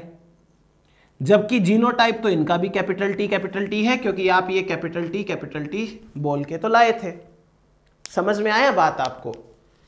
यानी कि यहाँ पर जो capital T capital T genotype है, वो पॉपुलेशन के पाँच मेंबर्स में अपने सही फिनोटाइप में एक्सप्रेस नहीं हो पाया, जबकि 95 मेंबर्स में ये सही फिनोटाइप में एक्सप्रेस हो पाया। मैं अब सिंपल लैंग्वेज में ये कहूँगा कि जो capital T capital T genotype है, वो इन 95 प्लांट्स में तो घुस गया, लेकिन इनमें नहीं घुस पाया। इसका मतलब 95 प्लांट्स तो वही एग्जैक्ट फिनोटाइप दिखाते हैं जिनके पास जैसा जीनोटाइप है। लेकिन ये जो ड्वाफ प्लांट्स हैं जीनोटाइप इनका कैपिटल टी कैपिटल टी है बट ये एग्जैक्ट फिनोटाइप नहीं दिखा रहे अपना। इसका मतलब इन पाँच प्लांट्स के अंदर ये जीनोटाइप पेनेट्रेट नहीं कर पाया। अगर मैं इसी को प्रपोर्शन के हिसाब से लिख दूँ तो मैं कहूँगा कि यहाँ पर जीनोटाइप की 95 परसेंट पेनेट्रेंस है और 5 परसेंट पेनेट्रेंस नहीं है। 95 परसेंट पेनेट्रेंस समझ में आया आप तो हम पेनेट्रेंस को कैसे डिफाइंड करेंगे?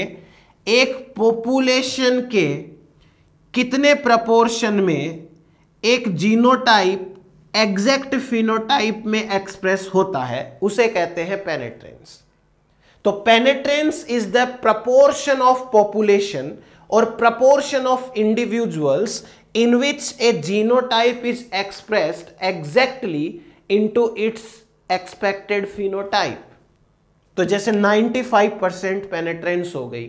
आ रही है बात समझ में? फॉर एग्ज़ाम्पल अभी अपन ने एक सेक्स इन्फ्लुएंस्ड करेक्टर का एग्ज़ाम्पल लिया था। Capital B capital B capital B small B capital B small B small B small B ये सारे के सारे मेल हैं। तो ये तो हो गया बाल्ड और ये हो गया नॉर्मल नॉर्मल नॉर्मल चीज़ सही है? नाउ अगर ये सारे मेल हैं तो ये 25 परसेंट मेल तो हो गए बाल्ड 75 परसेंट मेल हो गए नॉर्मल हेयर वाले। तो जीनोटाइप तो इन दोनों का भी कैपिटल बी है। सॉरी, ये तो फीमेल्स का ले लो case, females, sorry sorry sorry, females, female का केस। तो जीनोटाइप तो इन फीमेल्स का भी कैपिटल बी है, लेकिन जीनोटाइप एक्सपेक्टेड फिनोटाइप में एक्सप्रेस हो ही नहीं पा रहा। तो फीमेल्स के अंदर बी जीन की पेनेट्रेंस कितनी है? ओनली 25 परसेंट जबकि 75 परसेंट फीमेल्स में बी जीन की पेनेट्रेंस नहीं होगी। सो so, पेनेट्रेंस का हमारे पास में डेफिनेशन क्या निकल के आया लिखिए।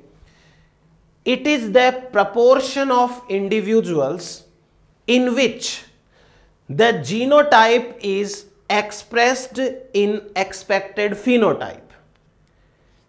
अब यहाँ देखो पाँच परसेंट प्लांट्स ऐसे थे जिनमें पानी और न्यूट्रिएंट की वजह से टॉलनेस नहीं आया, जबकि जीनोटाइप तो टॉल का था। तो इससे क्या साबित होता है कि जो पेनेट्रेंस होती है, वो एनवायरमेंट की वजह से अफेक्ट होती है। नेक्स्ट पॉइंट लिखिए। Penetrance is affected by the environment penetrance is affected by the environment ये एक एग्जांपल है, ये उतार लेना आप। फिर उसके बाद में, मेंडल का सोचना अलग था। मेंडल ये कह रहे हैं कि कैपिटल टी जीन अगर प्रेजेंट है तो वो प्लांट टॉल ही होगा हमेशा। लेकिन यहाँ देखो कैपिटल टी होने के बावजूद भी कुछ प्लांट्स टॉल नहीं बन पाए। रीजन उनके पीछे कुछ अलग है बट नहीं बन पाए ना। इट मीन्स कि जो जीनोटाइप है, वो अपने एक्सपेक्टेड फिनोटाइप में एक्सप्रेस होगा। ये कई बार एनवायरमेंट पे डिपेंड करता है। अकॉर्डिंग टू मेंडल लिखो according to Mendel if a gene is present it will express into its phenotype. But environment also play an important role.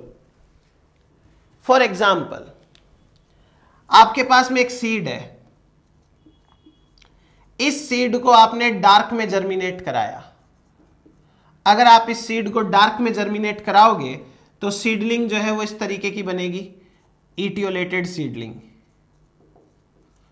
Etiolated seedling इसका मतलब यह हुआ कि इस सीडलिंग के पास क्लोरोप्लास्ट नहीं है मतलब क्लोरोफिल नहीं बना। क्यों? क्योंकि क्लोरोफिल बनाने के लिए सनलाइट की ज़रूरत भी होती है। इस सीड के पास में क्लोरोफिल बायोसिंथेसिस का जीन है। Chlorophyll biosynthesis gene present, but chlorophyll तो एब्सेंट है इसके अंदर। क्लोरोफिल एबसेंट है। तो इसका मतलब यह हुआ, जीन तो प्रेजेंट है बट पेनेट्रेट नहीं हो पाया। फॉर एग्ज़ाम्पल एक लॉन्ग डे प्लांट है, इसको आपने शॉर्ट डे में रख दिया। नो फ्लावरिंग इसमें फ्लावरिंग नहीं होगी। इसका मतलब इसके पास जीन है फ्लावरिंग के, लेकिन कंडीशन एनवायरमेंट की वजह से फ्लावरिंग नहीं हुई। एक आपके पास में शॉर्ट डे प्लांट है, इसको आपने रख दिया लॉन्ग डे कंडीशंस के अंदर। इसमें भी कोई फ्लावरिंग नहीं होगी नो फ्लावरिंग तो इसका मतलब यह हुआ कि यहाँ पेनेट्रेंस नहीं हो पा रही है। हाँ। कुछ एग्जाम्पल्स है जहाँ एनवायरमेंट रोल प्ले नहीं करता। Some examples are there where no role of environment there are some examples where environment does not play any role no role of environment. For example ABO blood group अगर मान लीजिए father O blood group वाला है mother भी O blood group वाली है तो जितने भी बच्चे होंगे all are O blood group अब इसके अंदर एनवायरमेंट कुछ नहीं कर सकता। यहाँ पर पेनेट्रेंस है, वो हंड्रेड परसेंट है। जितने भी बच्चे होंगे, सबका जीनोटाइप अगर आई ओ आई ओ होगा तो फिनोटाइप 110 परसेंट क्या होगा? ब्लड ग्रुप ओ तो यहाँ एनवायरमेंट का कोई रोल नहीं है। ठीक है? ये हो गया हमारे पास में पेनेट्रेंस अब एक और टर्म समझते हैं एक्सप्रेसिविटी एक्सप्रेसिविटी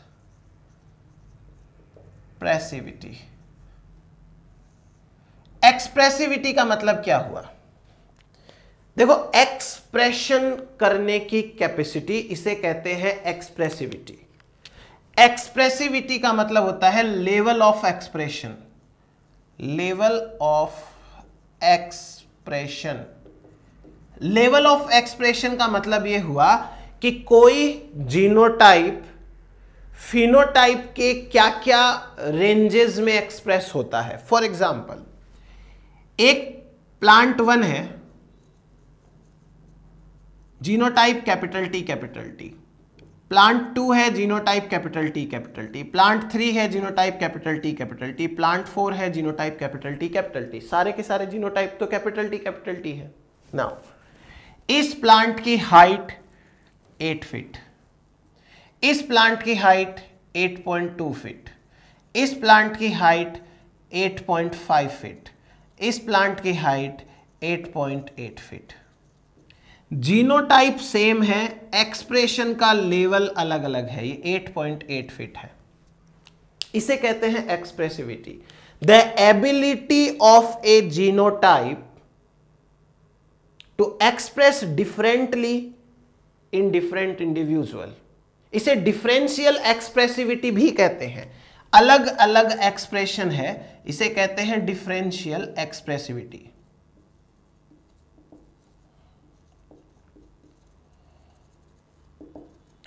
डिफरेंशियल एक्सप्रेसिविटी का मतलब हो गया कि जो एक्सप्रेशन है वो डिफरेंट डिफरेंट है। इसका एक और एग्जांपल पॉलीडेक्टाइली का नाम सुना है? पॉलीडेक्टाइली का मतलब होता है एक्स्ट्रा फिंगर हमारे अंगूठे या उंगली अगर एक्स्ट्रा हो, जैसे ऋतिक रोशन के है तो extra finger extra digit finger हो अगर तो उसे कहते हैं पॉलीडेक्टाइली पॉलीडेक्टाइली जैसे एक ह्यूमन वन है, इस ह्यूमन वन में दो सेंटीमीटर की एक एक्स्ट्रा डिजिट है. एक ह्यूमन टू है, उसमें मान लीजिए 2.2 सेंटीमीटर की एक्स्ट्रा फिंगर है. ह्यूमन थ्री है, उसके पास 2.5 सेंटीमीटर की एक्स्ट्रा फिंगर है. इसे कहते हैं एक्सप्रेसिविटी डिफरेंट डिफरेंट लेवल के ऊपर. लिखिए इसकी definition it is the degree it is the degree to which a character is expressed दूसरा लिखिए it is the intensity of phenotype phenotype की इंटेंसिटी क्या है? वो भी होता है। तीसरा लिखिए it is the ability of a gene to express itself in an organism एक जीन की एबिलिटी क्या है? अपने आप को एक्सप्रेस करने की। उसे भी एक्सप्रेसिविटी कहते हैं। आगे लिखिए sometimes sometimes some genes express them self differently in different individuals it is known as individual specific expressivity और डिफरेंशियल एक्सप्रेसिविटी ये हो गया हमारे पास में एक्सप्रेसिविटी का केस अब एक और केस समझते हैं, एक और छोटा सा एग्ज़ाम्पल समझते हैं. Incomplete penetrance incomplete penetrance समझ गए बात को आप? जैसे इनकम्प्लीट डोमिनेंस होता था, वैसे ही इनकम्प्लीट पेनेट्रेंस इसका मतलब gene is present but phenotype absent किसी भी रीजन से फिनोटाइप एबसेंट है जीन प्रेजेंट है, इसे कहते हैं इनकम्प्लीट पेनेट्रेंस फॉर एग्ज़ाम्पल एक केस है और इसको कहते हैं हाइपर कोलेस्ट्रोलेमिया हाइपर कोलेस्ट्रोलेमिया मतलब कि ज़्यादा कोलेस्ट्रॉल जमा हो जाता है. ये एक ऑटोजोमल डोमिनेंट डिज़ीज़ है. ऑटोजोमल डोमिनेंट डिज़ीज़ ये जो ऑटोजोमल डोमिनेंट डिज़ीज़ है, जैसे कैपिटल ए कैपिटल ए है कैपिटल ए स्मॉल ए है स्मॉल ए स्मॉल ए है तो इन दोनों केसेस के अंदर डिज़ीज़ होगी। कोलेस्ट्रॉल की बीमारी हो जाएगी, इस केस में नॉर्मल रहेगा। बट एक इंडिविजुअल है, उस इंडिविजुअल का जीनोटाइप है कैपिटल ए स्मॉल ए मतलब कि जीन प्रेजेंट है यहाँ पर डिज़ीज़ वाला। ये एलिल प्रेजेंट है, कैपिटल ए। लेकिन ये भाई साहब इतना ध्यान रखते हैं अपनी सेहत का कि तली हुई चीज़ें नहीं खाते, समोसे कचौड़ी नहीं खाते हैं और एक्सरसाइज करते हैं। कुछ भी ऐसी चीज़ जिससे कोलेस्ट्रॉल बढ़ता है, वो बिल्कुल नहीं खाते और पूरा पूरा ध्यान रखते हैं अपना। तो इनका फिनोटाइप नॉर्मल है।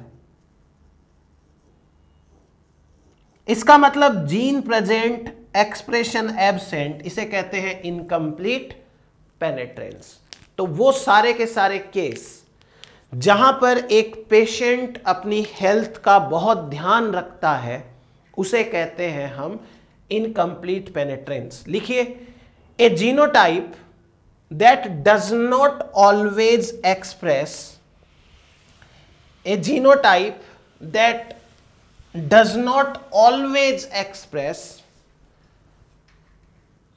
into expected phenotype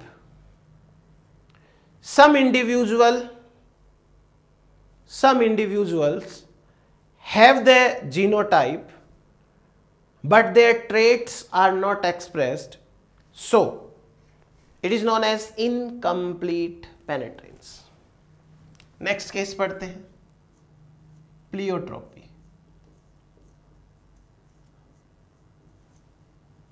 pleiotropy. Pleiotropy का मतलब होता है कि कोई एक जीन है, जीन वन, ठीक है? ये जीन फिनोटाइप वन को कंट्रोल करता है। फिनोटाइप वन को। यही जीन फिनोटाइप टू को भी कंट्रोल करता है। यही जीन फिनोटाइप थ्री को भी कंट्रोल करता है। इस कंडीशन को कहते हैं pleiotropy. When one genotype controls multiple phenotypes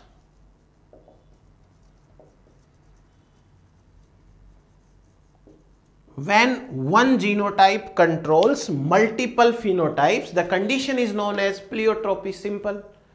For example, एक डिज़ीज़ होती है जिसका नाम है phenylketonuria P K U phenylketonuria एक ऑटोजोमल रिसेसिव डिसऑर्डर है स्मॉल ए स्मॉल ए की वजह से होगा। जिस इंसान में small a small a condition है फिनाइल कीटोन यूरिया वाले जीन की वो इंसान का दिमाग काम नहीं करेगा तो उसको आएगी मेंटल रिटार्डनेस दूसरा, इस इंसान की आँखों का कलर ब्लू हो जाएगा तो ब्लू आईज तीसरा, इसकी स्किन का कलर लाइट हो जाएगा लाइट स्किन तो देखो जीनोटाइप है स्मॉल ए स्मॉल ए लेकिन ये एक से ज़्यादा फिनोटाइप कंट्रोल कर रहा है। It is known as pleiotropy एक और example lethal gene of mice lethal gene of mice genotype होगा लिथल जीन वाला कैपिटल वाई कैपिटल वाई जिसके पास स्मॉल एल स्मॉल एल होगा। तो ये एक तो कॉट कलर को कंट्रोल कर ही रहा है। दूसरा, ये ओबेसिटी को कंट्रोल करता है। मोटा हो जाएगा, चूहा मर जाएगा बेचारा। फिर diabetes like condition diabetes like condition इसको भी ये हो जाएगी बीमारी और ट्यूमर फॉर्मेशन ट्यूमर फॉर्मेशन तो देखो जीन है एक जीनोटाइप है एक, और इतने सारे फिनोटाइप्स को वो कंट्रोल कर रहा है। एक और एग्जांपल लेते हैं। Seed coat colour in pea plant. मटर के अंदर जो सीड कोट का कलर है, उसको कंट्रोल करने वाला genotype seed coat colour in pea plant. ठीक? ये जो सीड कोट को कलर करने वाला जीनोटाइप है, ये एक तो अपना सीड कोट कलर तो कंट्रोल करता ही करता है। सीड कोट कलर कंट्रोल करता है। दूसरा, ये करता है फ्लावर कलर को भी कंट्रोल उसमें भी रोल प्ले करता है फ्लावर कलर तीसरा, ये axial position of flower axial position of flower इसको भी कंट्रोल करता है। तो आप खुद देखो, यहाँ जीनोटाइप्स तो एक एक है और वो फिनोटाइप कई सारे कंट्रोल कर रहे हैं। इस प्लियोट्रोपी का ही उल्टा अगर हम कर दें प्लियोट्रोपी का उल्टा तो उसे कहते हैं सिंट्रोपी। प्लियोट्रॉपी का उल्टा सिंट्रोपी। सिंट्रोपी का मतलब क्या हुआ कि जीनोटाइप वन, जीनोटाइप टू मिलकर के एक फिनोटाइप को कंट्रोल करते हैं। वो उल्टा था। वहाँ था एक जीन मल्टीपल फिनोटाइप यहाँ है multiple genes multiple genes control one phenotype और सिंगल फिनोटाइप सिंगल फिनोटाइप इसे कहते हैं अपन सिंट्रोपी एग्ज़ाम्पल आपको लिखवाने की ज़रूरत नहीं है, क्योंकि एग्ज़ाम्पल में क्या आ जाएगा? All examples of gene gene interaction all example of gene gene interaction जो टॉपिक हमने पढ़ लिया। तो वो जो जितने भी एग्ज़ाम्पल थे जीन जीन इंट्रैक्शन के, उन सारे एग्जाम्पल्स के अंदर हमने क्या देखा? कि एक से ज़्यादा जीन प्रेजेंट थे और वो एक से ज़्यादा जीन एक ही फिनोटाइप के लिए काम कर रहे थे। तो ये सिंट्रॉपी का एग्ज़ाम्पल होता है। नाउ एक और छोटा सा पॉइंट डिस्कस करते हैं। एक है phenocopy effect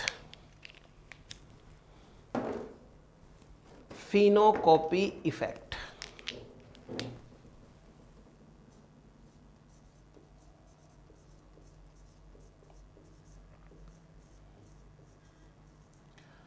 phenocopy effect का मतलब क्या हुआ? देखिए, फिनो शब्द बना है फीन से। फीन का मतलब होता है मॉर्फोलॉजी। Phene means morphology. और कॉपी का मतलब कॉपी? तो फिनोकॉपी इफ़ेक्ट का मतलब यह हुआ कि एक ऐसा केस ऐसा केस जहाँ पर जीनोटाइप डिफरेंट हो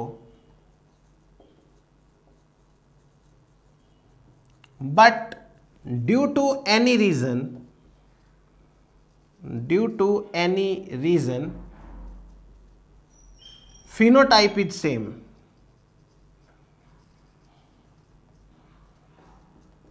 जैसे एक एग्ज़ाम्पल तो आप ले सकते हो डुप्लीकेट लोगों का, जो कई लोग डुप्लीकेट दिखते हैं। डुप्लीकेट पीपल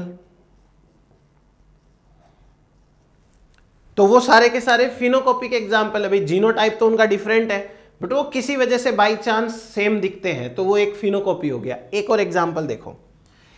एक प्लांट है pea plant capital T capital T इस प्लांट को उगाया हमने एडवर्स कंडीशन में। Adverse condition. एडवर्स कंडीशन में उगाया तो इसका फिनोटाइप आया ड्वाफ क्योंकि इसको सही कंडीशंस नहीं मिली। दूसरा प्लांट है हमारे पास स्मॉल टी स्मॉल टी। इसको उगाया हमने नॉर्मल कंडीशन के अंदर। ये भी बन रहा है ड्वार्फ। तो अब आप देखो कि दो अलग अलग जीनोटाइप है। एक है कैपिटल टी कैपिटल टी, एक है small T small T. Genotype different है, लेकिन किसी रीजन से फिनोटाइप सेम आ रहे हैं। इसे हम कहते हैं फिनोकॉपी इफ़ेक्ट। समझ में आ गया बात? लिखिए। It is a condition where morphology of two individuals are same but their genotypes are different phenocopy is a phenotype that is produced by environment in which same phenotypes are produced by two different genotypes ये हो गया हमारे पास में phenotype या phenocopy effect के बारे में अब लास्ट टॉपिक पढ़ते हैं आज की क्लास का जीनोमिक इम्प्रिंटिंग इसका मतलब क्या हुआ? जीनोमिक इम्प्रिंटिंग जीनोमिक इम्प्रिंटिंग का मतलब है कि एक ऐसी कंडीशन जहाँ पर एक जीन के दो एलिल्स एक फादर से आया, एक मदर से आया, एक बच्चे में जाते तो हैं लेकिन उन दोनों एलिल्स में से एक कॉपी एक्सप्रेस होती है। हो सकता है वो फादर वाली कॉपी हो हो सकता है वो मदर वाली कॉपी हो। इस कंडीशन को कहते हैं जीनोमिक इम्प्रिंटिंग। आखिर ऐसा क्या होता है, कैसे होता है तो वो हम समझेंगे एक छोटे से एग्ज़ाम्पल के साथ में। और एग्ज़ाम्पल यहाँ पर क्या रहेगा कि जहाँ पर एक जीन है, वो आ तो दोनों पेरेंट से रहा है, लेकिन एक कॉपी है, वो एक्सप्रेस हो रही है। लिखिए इसमें। It is a phenomenon where expression of an allele depends upon its parental origin that is the allele which is coming from father is expressed and its another allele coming from mother is not expressed and vice versa, उल्टा भी। यानी कि gene का allele coming from mother is expressed and coming from father is not expressed आगे लिखिए। Epigenetic changes epigenetic changes are responsible for genomic imprinting for example DNA methylation DNA के ऊपर methyl group जुड़ जाएगा।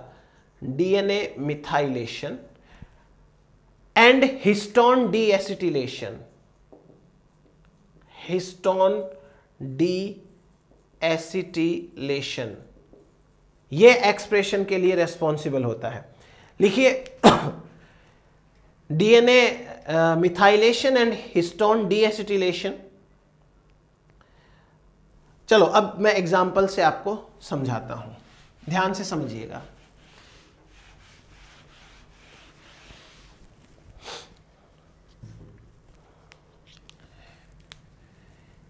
एक मेल है जो फादर की तरह बिहेव करेगा और एक फीमेल है जो मदर की तरह बिहेव करेगी फादर मदर ठीक.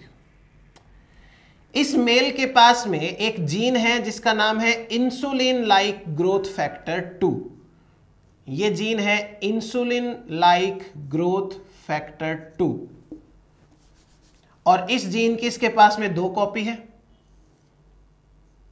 Insulin like growth factor two I G F two mother जो है, इस मदर के पास में भी यही जीन की दो कॉपी होगी आई टू और ये रही एक कॉपी और आई टू अब आपको ये तो पता है दो कॉपी कहाँ से आई? ये जो फादर है मेल है, इसके पास ये दोनों कॉपी में से एक कॉपी इसके फादर से आई, एक कॉपी इसकी मदर से आई। और इस मदर के पास में भी ये एक कॉपी इसके फादर से आई, एक कॉपी इसकी मदर से आई। दूसरा एक और जीन है, जिसका नाम है histone 19 H 19 gene H 19 gene H 19 gene H 19 gene अब मेरी बात को ध्यान से समझिएगा। ये जो दोनों जीन हैं I G F two and H nineteen gene ये क्रोमोजोम नंबर 11 की पी आर्म के ऊपर प्रेजेंट होते हैं। शॉर्ट आर्म होती है और 11 नंबर का क्रोमोजोम है, वहाँ प्रेजेंट होती है। Now try to understand father में स्पर्मेटोजेनेसिस होगी।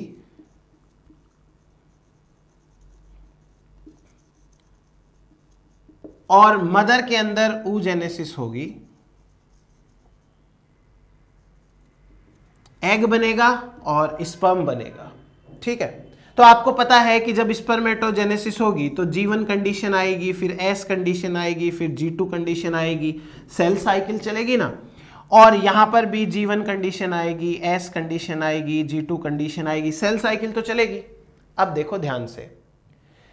ड्यूरिंग द स्पर्मेटोजेनेसिस फादर के पास में ये जो कॉपी है आई जी एफ़ टू की,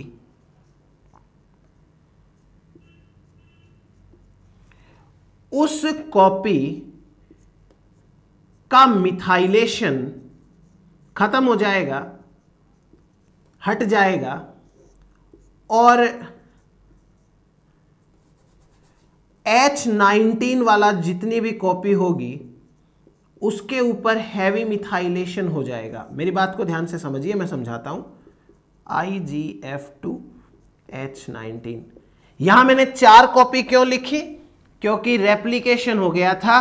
रेप्लीकेशन की वजह से मैंने यहाँ पर दो की चार कॉपी कर ली। I G F two I G F two I G F two I G F two. ठीक है? इन सभी कॉपीज में देखो, ये जो फादर है, इस फादर के पास मान लो ये कॉपी है, वो तो आई थी इसके फादर से। फादर के पास ये कॉपी आई थी फ्रॉम फादर। और इसके पास में ये कॉपी आई थी फ्रॉम मदर। सिमिलरली, ये कॉपी आई थी फ्रॉम फादर।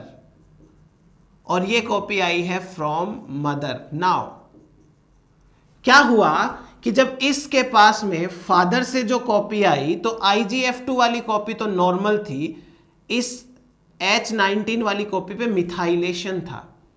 CH3 मिथाइलेशन और जो मदर से कॉपी आई, उस मदर से आने वाले डीएनए के, ये जो IgF2 है, इसके ऊपर मिथाइलेशन था और ये सही था। इसका मतलब क्या हुआ? कि इस मेल के पास IgF2 की जो कॉपी फादर से आती है, वो एक्सप्रेस होती है। लेकिन वही कॉपी अगर मदर से आ रही है तो वो एक्सप्रेस नहीं होती। जबकि H19 के लिए उल्टा है। फादर से जो H19 वाला एलिल आएगा वो एक्सप्रेस नहीं होगा। मदर से जो H19 का एलिल आएगा वो एक्सप्रेस होगा। समझ में आ रहा है? मदर के पास में फादर से जो H IgF2 आया, वो तो एक्सप्रेस हुआ। लेकिन फादर से जो H19 आया, वो एक्सप्रेस नहीं होगा। जबकि मदर के पास में इसकी मदर से जो IgF2 आया, वो एक्सप्रेस नहीं होगा और जो H19 आएगा, वो एक्सप्रेस होगा। तो ध्यान से समझो, ये जो फादर है, इसके पास में दो कॉपी थी आई जी एफ़ टू की। इसमें एक कॉपी पे मिथाइलेशन था क्योंकि ये मदर से आई। दूसरी कॉपी जो है, वो फादर से आने वाली, उसके H19 पे मिथाइलेशन था। अब जब इसने खुद ने अपने गैमिट्स बनाए तो इसके जितने भी IgF2 के ऊपर मिथाइलेशन था, वो तो हट गया। और जितने भी H19 थे, उनके ऊपर अब मिथाइलेशन जुड़ गया मिथाइल ग्रुप जुड़ गया। मिथाइल ग्रुप जुड़ गया। ऐसे ही ये जो फीमेल है, वो अपने एग्स बनाएगी। तो आपको पता है कि चार एग्स में से एक एग ही फंक्शनल रह पाएगा, बाकी तो एग है वो। खत्म हो जाएँगे। ऊजेनेसिस एक फीमेल है, वो एक ही एग बना पाएगी। तो ड्यूरिंग एग फॉर्मेशन यानी कि गैमिटोजेनेसिस ये फीमेल के पास जो IgF2 है, इसके ऊपर तो मिथाइलेशन हो जाएगा। और जो H19 है, उसके ऊपर मिथाइलेशन हट जाएगा। नाउ ये चार बन गए स्पॉम्स चार अलग अलग स्पॉम्स है ये। चारों में एक एक कॉपी जाएगी। अगर यहाँ का कोई भी स्पर्म मान लो ये वाला स्पर्म इस एग के साथ में फ्यूज होता है तो जो जाइगोट बनेगा, नया इंडिविजुअल बनेगा, चाहे ये मेल हो या फीमेल हो, एक बार उससे फ़र्क नहीं पड़ता तो उस मेल या फीमेल बच्चे के पास में, एक तो डीएनए ये पहुँचा 11 नंबर वाला फादर से। तो जो फादर से आ रहा है, वो तो IgF2 सही है, लेकिन फादर से आने वाले H19 के ऊपर मिथाइलेशन है, देखो, है ना, यहाँ पे ये रहा। और ये वाला डीएनए मदर से आया तो जो मदर से आ रहा है IgF2 उसके ऊपर तो मिथाइलेशन है, जबकि H19 के ऊपर मिथाइलेशन नहीं है। तो हम क्या कहेंगे, इस बच्चे में IgF2 की जो कॉपी फादर से आई, ये फादर से आई कॉपी वो तो एक्सप्रेस हो रही है, लेकिन जो मदर से कॉपी आई, वो एक्सप्रेस नहीं हो रही। जबकि H19 की जो कॉपी फादर से आई, वो एक्सप्रेस नहीं हो रही है, और मदर से आई तो वो कॉपी एक्सप्रेस हो रही है। इसे कहते हैं जीनोमिक इम्प्रिंटिंग इसके लिए एपिजेनेटिक चेंजेस एपिजेनेटिक चेंजेस का मतलब क्या हुआ? एपिजेनेटिक चेंजेस का मतलब ऐसा चेंज जो जीन के एक्सप्रेशन को बदल दे या सप्रेस कर दे, लेकिन जीन के न्यूक्लियोटाइड में कोई चेंज ना आए सीक्वेंस में। यहाँ पर मिथाइल ग्रुप ऐड हो रहा है। न्यूक्लियोटाइड चेंज नहीं हो रहे हैं। न्यूक्लियोटाइड वही है, लेकिन सिर्फ़ और सिर्फ़ मिथाइल ग्रुप ऐड हो रहा है। तो इसलिए इसे एपिजेनेटिक चेंजेस कहते हैं। तो जीनोमिक इम्प्रिंटिंग एक ऐसा केस है, जहाँ एक कॉपी जो फादर से आती है, वो तो एक्सप्रेस होती है, लेकिन उसी जीन की दूसरी कॉपी जो मदर से आती है, वो एक्सप्रेस नहीं होती। या इसका उल्टा कर सकते हो, जो कॉपी मदर से आती है, वो एक्सप्रेस होती है, जो कॉपी फादर से आती है, वो एक्सप्रेस नहीं होती है। तो ये है हमारे पास में जीनोमिक इम्प्रिंटिंग का। तो आज की क्लास में हमने क्या देखा? हमने सेक्स लिंक्ड इनहेरिटेंस की बात करी sex influenced sex limited characters की बात करी, उसके बाद में हमने पेनेट्रेंस एक्सप्रेसिविटी की बात कर ली फिनोकॉपी इफ़ेक्ट की बात कर ली और जीनोमिक इम्प्रिंटिंग की बात कर ली। तो अब थोड़ी रेस्पॉन्सिबिलिटी आपकी बनती है। पढ़िए प्रैक्टिस करिए डाउट आता है तो पूछिए और सबके साथ में शेयर करना चाहो तो वो आपकी मर्ज़ी है। चलो thank you so much next session के अंदर मिलते हैं नए टॉपिक के साथ.